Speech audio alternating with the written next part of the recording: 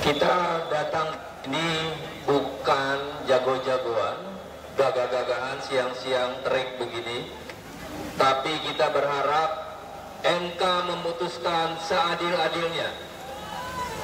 MK memutuskan dengan hati nurani. Untuk itu kami teman-teman dari 03 dari Karam Demokrasi Petisi Brawijaya ada gerakan keadilan rakyat dan atau kebangkitan rakyat dan masyarakat penegak konstitusi dan gerakan kebangsaan menyatakan sikap atas hiruk pikuk yang terjadi yang diciptakan oleh rezim Jokowi.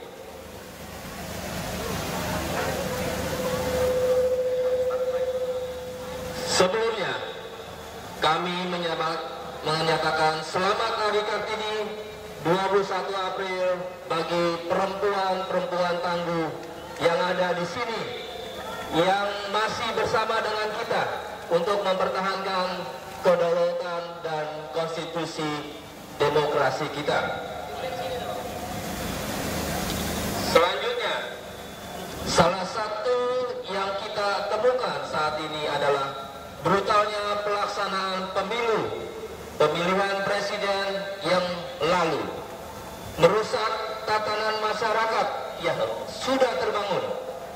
Dan hari ini kita serta seluruh rakyat Indonesia yang sedang berjuang untuk tegaknya kembali demokrasi di negeri ini sedang memberikan harapan dan doanya kepada delapan hakim konstitusi yang bertugas yaitu Bapak Suhartoyo, Bapak Sadi Isran, Bapak Arif Hidayat, Ibu Edi Nurbanisi, Bapak Dani Rizki, Bapak Guntur Ramza, Bapak Ridwan Mansur, dan Bapak Asul Sani.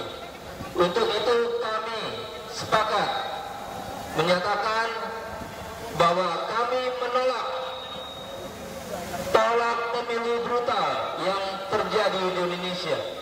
Kedua, Hakim Mahkamah Konstitusi memutuskan seadil-adilnya untuk menyelamatkan demokrasi Indonesia. Ketiga, rezim Jokowi sudah tidak layak memimpin negeri ini. Maka kami saatnya untuk melengsarkan rezim ini dengan kekuatan rakyat karena sudah merusak demokrasi Indonesia. Dan selanjutnya merespon pernyataan MK pada saat ini dengan keputusan yang ada baik diterima maupun tidak diterima kami bersikap menuntut dan memastikan pelaksanaan pemilu dan pilkada selanjutnya kalau memang diterima berarti ada pilpres ulang kami berharap kami menuntut bahwa pemilu yang akan datang berjalan jujur dan adil.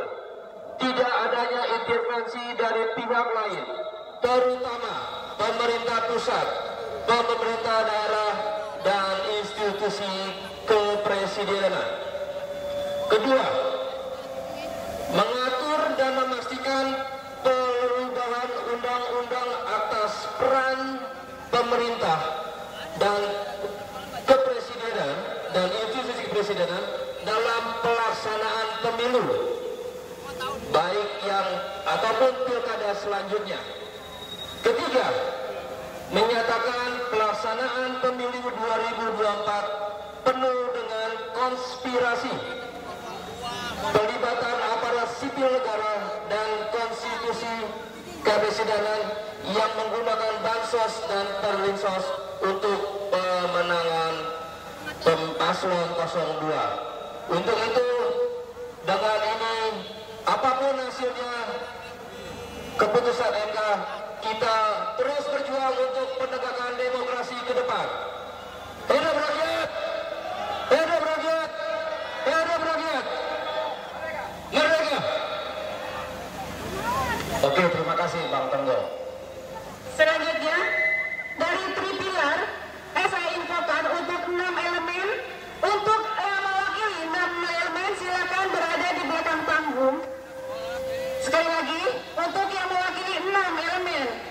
Silakan berdiri di belakang panggung. Ya. Dan selanjutnya dari tripilar ada dari tripilar ah, belum ada. Nah, dari G LPDR Bapak Marwan Batubara sudah ada di lokasi. Bapak Marwan Batubara belum ada juga. Dari GPKR siap.